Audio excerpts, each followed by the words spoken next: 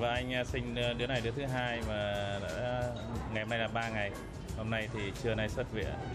Đứa đầu thì cũng hơi vất vả, đứa thứ hai thì có bà ngoại chăm thì chắc là đỡ hơn. chăm sóc bé thì phải có người phụ mới chăm sóc được còn à, một mình mình chăm sóc thì rất là khó khăn chị đã à, nhờ cái à, mấy cô điều dưỡng đến nhà để chăm sóc rốn cho bé tại lúc mới sanh ra thì rốn bé rất là quan trọng khi nào rụng thì à, yên tâm hơn Chị lo lắng nhất là không có người chăm sóc em bé tại gia đình ở xa ở quê mà em bé đầu lòng cho nên không có biết xoay sở như thế nào trong lúc không có người nhà bên cạnh. Quý vị và các bạn thân mến, có trải qua giai đoạn chăm sóc con nhỏ như thế này mới thấu hiểu được niềm hạnh phúc được làm cha, làm mẹ. Thế nhưng ở các gia đình trẻ thành thị hiện nay thì à, trong việc chăm sóc cho người mẹ và em bé trong những ngày đầu tiên sẽ gặp rất nhiều vất vả khó khăn nếu như không có sự trợ giúp của hai bên gia đình. À, và với các gia đình sinh con lần đầu tiên thì lại càng khó khăn hơn bởi vì thực sự họ rất thiếu kinh nghiệm và những kỹ năng cần thiết. Chính vì vậy mà đã có các dịch vụ chăm sóc cho bà mẹ và em bé sau sinh ra đời ở các thành phố lớn. Ngày hôm nay Khánh Huyền sẽ cùng quý vị và các bạn chúng ta sẽ tìm hiểu về các dịch vụ này nhé. Thông thường sau khi sinh, các sản phụ sẽ được lưu lại chăm sóc tại bệnh viện từ 3 đến 7 ngày. Trong giai đoạn này, các nhân viên y tế sẽ làm nhiệm vụ chăm sóc sức khỏe cho mẹ, tắm và vệ sinh rốn cho bé, còn những sinh hoạt khác như ăn uống cho mẹ và bé, nâng đỡ và giúp cho mẹ bớt đau sau sinh là nhiệm vụ của những người thân trong gia đình.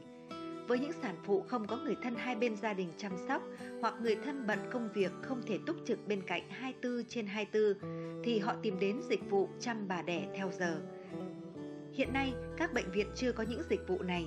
Tuy nhiên, tại các bệnh viện lớn, có nhiều người chuyên làm những công việc này qua lời giới thiệu, đến nhận trông mẹ và bé theo giờ, hoặc những công ty bên ngoài chuyên cung cấp dịch vụ chăm sóc mẹ và bé tại bệnh viện. Những người này sẽ làm những việc như thay mặt người nhà làm các thủ tục hành chính trong bệnh viện, chăm sóc phục hồi sau sinh cho mẹ, hướng dẫn mẹ chăm sóc bé giai đoạn ban đầu như cho bé bú, ẵm bé, vân vân, theo dõi rốn cho bé, vết mổ cho mẹ nếu sinh mổ, cho bé đi tắm nắng vào buổi sáng, cho bé ăn dù bé ngủ, vệ sinh cho bé, vân vân. Giá của dịch vụ chăm mẹ và bé tại bệnh viện sẽ được tính theo giờ, thông thường từ 40 đến 50 ngàn đồng một giờ. Có nhiều gói thời gian sử dụng dịch vụ như 5 tiếng buổi sáng, cả ngày, qua đêm hay 24 tiếng. Một trong những điều khó khăn mà các đức ông chồng gặp phải khi chăm sóc vợ đẻ đó là việc nấu nướng. Quả thật, thực đơn của chị em phụ nữ sau khi sinh rất là khó nấu. Vừa phải kiêng cữ đủ thứ, vẫn phải ngon miệng, đảm bảo chất dinh dưỡng và lại phải tạo sữa cho người mẹ nữa. Từ nhu cầu dinh dưỡng đặc biệt của các chị em sau sinh, nhiều cửa hàng thức ăn thực dưỡng đã ra đời chuyên phục vụ các món ăn dành riêng bà đẻ như thịt kho tiêu, cá kho tiêu, gà kho gừng, nghệ vân vân. Hiện tại, mỗi suất ăn cho bà đẻ như thế này có giá từ 58.000 đồng trở lên, bao gồm cơm, canh, món mặn, rau luộc và tráng miệng. Ngoài những món ăn thông thường trong bữa ăn hàng ngày, còn có các món đặc biệt với nhiều tác dụng cho sức khỏe bà đẻ như chân giò lợn hầm đu đủ, giúp khỏe gân cốt, dưỡng khí, tạo sữa, nhuận trường, vân vân. Có giá 30.000 đồng một phần. Gà ác hầm thuốc bắc giúp cầm máu, giảm đau với giá 60.000 đồng một phần. Giò heo om nghệ bổ máu, bồi bổ cơ thể 35.000 đồng một phần. Hay bồ câu nhồi hạt sen hấp cách thủy 150.000 đồng một con. Ngoài các cửa hàng chuyên bán thức ăn cho bà đẻ như thế này thì hiện nay có một số nơi còn nhận đặt nấu các món ăn dành riêng cho bà đẻ thông qua các trang mạng xã hội với thực đơn cũng hết sức đa dạng, phong phú, giá cả dao động từ 25.000 cho tới 100.000 đồng một món. Quý vị và các bạn thân mến, sau khi sanh lúc còn ở trong bệnh viện, khi có người nhà và các nhân viên y tế luôn ở bên cạnh, các sản phụ rất là yên tâm. Tuy nhiên sau khi xuất viện về đến nhà thì các cặp vợ chồng lúc đó mới bắt đầu lo lắng, nhất là các cặp mới sinh con đầu lòng. Mình phải chăm con như thế nào đây, tắm cho con như thế nào, chăm sóc con ra sao? Chính vì vậy mà hiện nay trên thị trường xuất hiện rất nhiều các dịch vụ chăm sóc cho bà mẹ và trẻ sơ sinh tại nhà. Bây giờ chúng ta sẽ cùng tìm hiểu về các dịch vụ này nhé.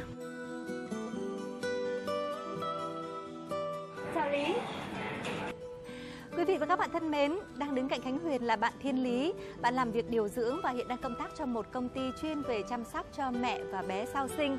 Ừ, hôm nay thì bạn Lý đã hẹn Huyền để hai người cùng tới thăm một gia đình sản phụ nơi mà bạn Lý đang làm. Chúng ta sẽ cùng tìm hiểu xem công việc của bạn Lý như thế nào. Mình đi ha.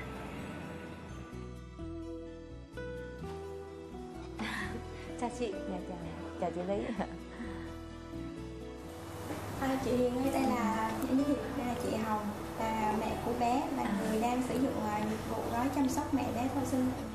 chào chị Hồng ạ dạ chào chị Huyền dạ, Dạ. mời chị ngồi Vâng, cảm ơn chị. Ừ, Huyền đang muốn tìm hiểu về dịch vụ chăm sóc mẹ và bé sau sinh đó. À, và được biết là chị là đang sử dụng dịch vụ này Dạ. đến thăm chị và bé. Con trai hay con gái vậy chị? dạ là cháu trai chị Ồ, đúng rồi. Thảo nào mà trông quần áo rất là mạnh mẽ ha. em ơi, bé được bao nhiêu lâu rồi chị ha? Dạ bé được một tháng rồi chị Ừ, trộm vía. Yêu quá đi. À, chị Hồng ơi, tại sao mà chị lại lựa chọn dịch vụ chăm sóc bé sau sinh vậy chị? tại vì ờ, lúc mà em sanh á thì gần cận tết À. thì gia đình hai bên cũng bận rộn Dạ. với lại ờ, người mẹ sanh xong cũng yếu em muốn ờ, lần này nghỉ ngơi thật nhiều nên em muốn sử dụng dịch vụ qua bên ngoài để chăm sóc mẹ với em bé được chu đáo hơn vậy là từ khi chị mới bắt đầu sanh em bé là chị đã sử dụng dịch vụ này rồi.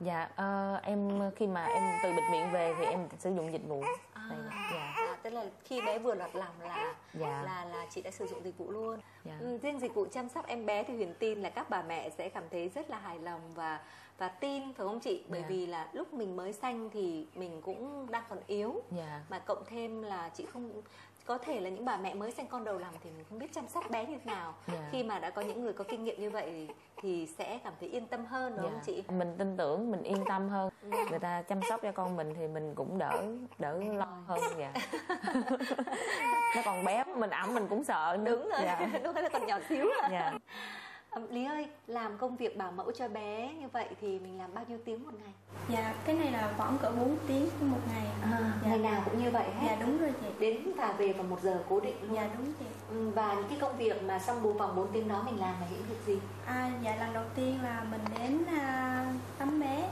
là khoảng cỡ một tiếng. Ừ. À, trong phòng tắm bé thì mình có đầy đủ luôn khi massage, sau đó là à, tắm và hơi lá trầu cho bé. À. Và sau đó cho bé bú và cho bé đi ngủ.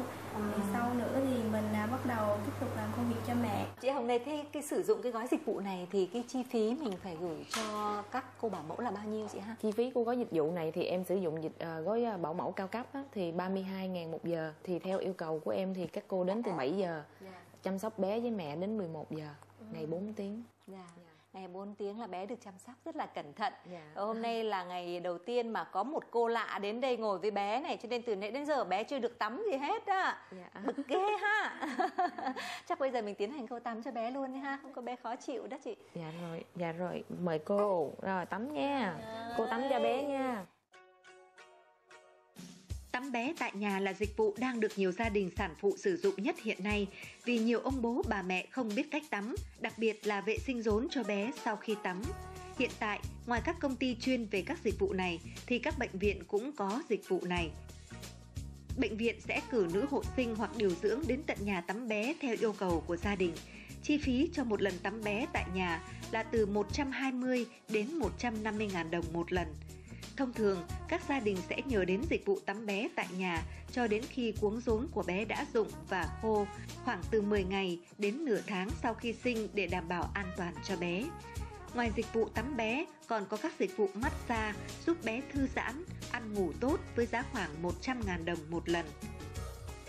Ồ, thích chưa này, mình được tắm xong dễ chịu hẳn. Ngoan hơn rồi đó. Ừm. Trộm vía yêu quá ha. Hôm nay đúng là Huyền rất là vui khi đến đây được gặp gỡ với chị à, và được à, lắng nghe và hiểu hơn về à, dịch vụ chăm sóc bé sau sinh. Huyền tin rằng là khán giả cũng sẽ đồng cảm cùng với Huyền và cũng sẽ hiểu hơn về dịch vụ này. Huyền chúc cho chị có thật nhiều sức khỏe, thật nhiều niềm vui chăm sóc bé thật là khỏe mạnh nha. Cảm ơn chị cảm ơn chương trình Hay ăn chăm lớn nha con. Ờ, nhìn mẹ đắm đuối nè Quý vị và các bạn thân mến Bên cạnh dịch vụ chăm sóc bé sơ sinh tại nhà Thì Khánh Huyền biết cũng có một dịch vụ nữa rất là hay Tên gọi là chăm sóc và làm đẹp cho mẹ sau sinh à, Huyền cũng biết có một người quen của Huyền đang sử dụng dịch vụ này Bây giờ Huyền sẽ mời tất cả quý vị và các bạn Chúng ta hãy đến nhà chị Ý để cùng tìm hiểu về dịch vụ này nhé Sau sinh, chị em phụ nữ có rất nhiều thay đổi, từ cơ thể, tính cách đến ngoại hình bên ngoài. Rất nhiều chị em do trải qua đau đớn khi sinh, vất vả vì phải chăm con, dẫn đến mệt mỏi, lo âu, mất ngủ và trầm cảm sau sinh. Việc chăm sóc tốt cho mẹ sau sinh sẽ giúp mẹ nhanh chóng hết đau, tinh thần của mẹ thoải mái, phục hồi sức khỏe để tạo được nguồn sữa dồi dào cho bé.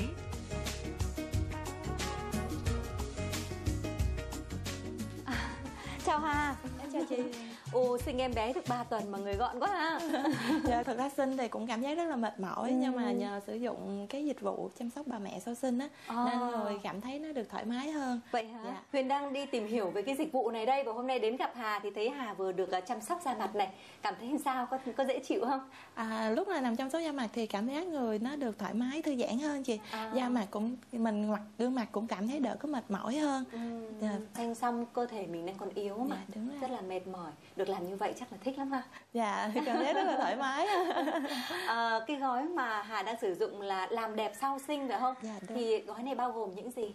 À, cái gói làm đẹp sau sinh này là một cái gói là gồm 10 ngày làm những cái bước như là sẽ xông hơ cho sản phụ giống như mình xưa giờ mình hay làm Ờ, nè hơi rồi dạ tắm nè rồi massage mặt massage body. Và bên cạnh đó là sẽ còn à, quấn bụng để giống như làm giảm dòng eo sau sinh đó mà. À, rất là nhiều những dịch Dạ, vụ cần thiết cho bà mẹ sau sinh. Dạ. mà Huyền thấy không phải là gia đình nào cũng biết tất cả những cái dịch vụ đó để mình tự làm đâu đúng không? dạ đúng Được rồi cái sự hướng dẫn như thế là hay quá rồi. dạ À, như vậy là trong vòng 10 ngày, một gói như vậy trong vòng 10 ngày và một ngày thì mình được à, làm bao nhiêu thời gian? cái gói này của em là 10 ngày và một Ừ. ngày thì các bạn ở đây lại làm cho em là khoảng từ 2 tiếng rưỡi đến 3 tiếng 2 tiếng rưỡi đến 3 tiếng. Dạ. Ồ. À, Huyền thấy có nhiều người đang quan tâm đến dịch vụ này. À, có một điều nữa Huyền muốn hỏi Hà là cái giá thành của nó khoảng bao nhiêu Hà ha? Em thấy thì giá thành của cái gói dịch vụ này thì sử dụng hợp lý là em dùng trọn gói của gói dịch vụ chăm sóc bà mẹ sau sinh này là của Malaysia cho nên trọn gói của nó là 4 triệu chín trong vòng 10 ngày Ừ, như vậy là với 4 triệu 9 mà mình được chăm sóc đầy đủ tất cả những cái dịch vụ mà cần thiết cho bà mẹ sau sinh đúng không? Dạ đúng rồi. Cái gói 4 triệu chín này của em là sẽ sử dụng được đầy đủ hết tất cả các dịch vụ. Bên cạnh đó thì em thấy là cũng có những cái gói Nếu mà như các bà mẹ mà muốn chọn lựa một vài dịch vụ ít hơn Thì cũng có gói khoảng từ 220 đến 290 Thì cũng có chăm sóc nhưng mà cái điều là sẽ bớt đi được một số cái giai đoạn công đoạn thôi. Nhưng mà cũng vẫn chăm sóc bà mẹ sau sinh Như vậy là rất là linh hoạt ở cái việc là nếu như bà mẹ thích sử dụng cái dịch vụ nào thì mình Ừ. có thể sử dụng cái dịch vụ đó riêng thôi chứ Dạ, không đúng. là bao gồm Không gói phải cả gói như thế này. gói như vậy Rồi, à, đúng là lần này gặp Hà sinh bé thứ hai mà thấy Hà tươi hơn, vui hơn lần trước đó nha. dạ à, cũng nhờ là biết đến gói dịch vụ này để em Ừ. sử dụng đó chứ và theo đó nên em thấy thôi dần chọn gói luôn Như vậy là biết chăm sóc bản thân rất là tốt. Rồi, à, hôm nay thì đến thăm Hà và chúc Hà là thật là mạnh khỏe, xinh tươi và chăm bé thật tốt nha. dạ cảm ơn chị Huyền Thông thường các dịch vụ làm đẹp cho các chị em sau sinh sẽ bao gồm xông hơ theo cách cổ truyền để loại bỏ chất độc trong cơ thể, thư giãn, gội đầu và tắm khô, xoa bóp massage với rượu gừng để làm ấm, giảm đau nhức và loại bỏ bớt phần mỡ thừa sau sinh, chăm sóc da mặt và da vùng bụng sau sinh bằng nghệ, túi muối vân vân. Tùy theo gói dịch vụ mà giá cả cũng khác nhau, thông thường dao động từ hơn 2 triệu đến hơn 4 triệu đồng trong 10 ngày sử dụng dịch vụ. Thưa quý vị và các bạn, từ đầu chuyên mục đến giờ, chúng ta đã cùng nhau tìm hiểu rất nhiều các dịch vụ chăm sóc cho bà mẹ và trẻ sơ sinh. Và Huyền tin rằng những điều này rất hữu ích cho các cặp vợ chồng chuẩn bị chào đón một thành viên mới trong gia đình mình. Và để khép lại chuyên mục trò chuyện cuộc sống ngày hôm nay, Khánh Huyền cùng quý vị chúng ta hãy cùng điểm qua những điều cần lưu ý khi lựa chọn và sử dụng dịch vụ này nhé. ưu tiên chọn các dịch vụ có sẵn tại các bệnh viện vì nhân viên tại đây là những nữ hộ sinh, điều dưỡng đã qua đào tạo. Nếu chọn các dịch vụ của các công ty bên ngoài, cần chọn những công ty có uy tín, có đội ngũ nhân viên là những nữ hộ sinh, điều dưỡng đã qua đào tạo, thái độ phục vụ tận tình. Nên tìm hiểu kỹ để chọn gói chăm sóc phù hợp với hoàn cảnh và tài chính của gia đình mình. Khi bé được các cô bảo mẫu chăm sóc, mẹ cần quan sát và đảm bảo mọi việc diễn ra trong tầm kiểm soát của mẹ. Hy vọng